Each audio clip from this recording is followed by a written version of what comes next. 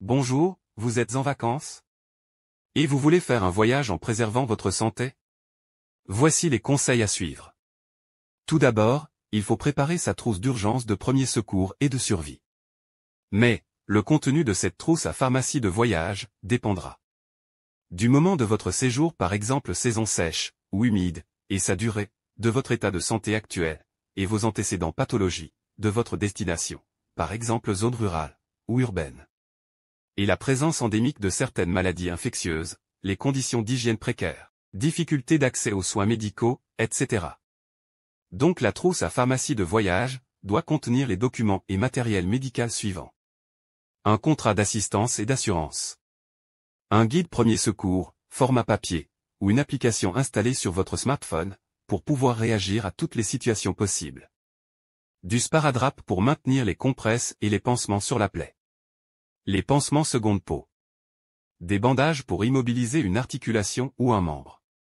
En cas d'un traumatisme, pour traiter une entorse ou tenir un pansement. Du sucre si vous avez les signes d'hypoglycémie. Un antiseptique pour désinfecter les plaies ouvertes, des bandages pour immobiliser une articulation ou un membre. En cas d'un traumatisme, pour traiter une entorse ou tenir un pansement. Un antiseptique pour désinfecter les plaies ouvertes et éviter les surinfections, comme chlorhexidine, et hexamidine. Des compresses stériles pour nettoyer une plaie. Des pansements gras, pour les brûlures, et les plaies cutanées suintantes. Des bandelettes adhésives, favorisant une bonne cicatrisation des plaies par rapprochement des deux berges. Un thermomètre médical afin de pouvoir contrôler la température du corps. Un pack de froid instantané afin de l'appliquer sur les contusions. Des crèmes à appliquer sur la peau contre les piqûres, et les crèmes contre les brûlures, et pour apaiser les coups de soleil. Crème solaire à indice de protection élevé IP50+, pour se protéger des rayons ultraviolets. Du gel hydroalcoolique, pour se désinfecter les mains, utile en cas d'absence d'eau et de savon. Avant un voyage, certaines vaccinations sont nécessaires, leur obligation administrative est variable selon les pays. Pour mettre à jour ou réaliser les vaccinations requises, rendez-vous dans un centre de médecine tropicale. La consultation doit être minimum 4 à 6 semaines avant le départ, pour assurer l'efficacité des vaccins. Si vous voyagez en avion et vous avez un terrain prédisposant au risque de phlébite, vous devez porter des bas ou chaussettes de contention antivarice.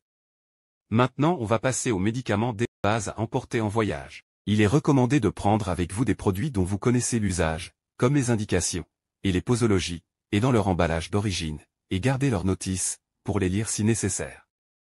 Antinauséeux en cas de mal des transports, ou l'envie de vomir, surtout fréquent en de voyage en bateau.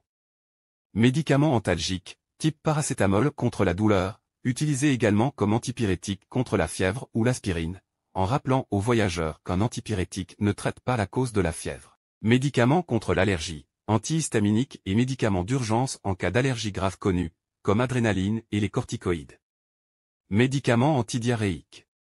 Les antisécrétoires thiophants, ou adsorbants par exemple le smecta, ou l'opéramide. Un antiseptique intestinal le nifuroxazide connu sous le nom ercéfuril. Médicament laxatif, pour traiter la constipation, du phalac. Celle de réhydratation orale pour les jeunes enfants. Désinfectant de l'eau. Aquatab, micropure forte, ou mieux, système de filtre individuel catadin.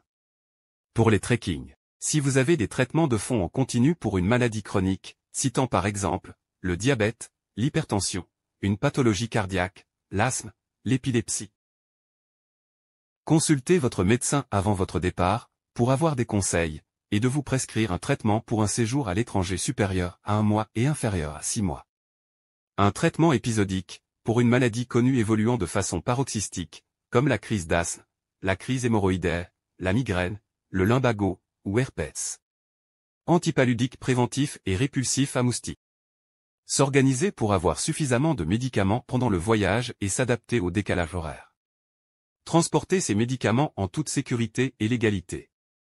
Conserver et utiliser ces médicaments par forte chaleur et en cas de grand froid. Je vous souhaite un agréable voyage, un retour en bonne santé dans votre pays.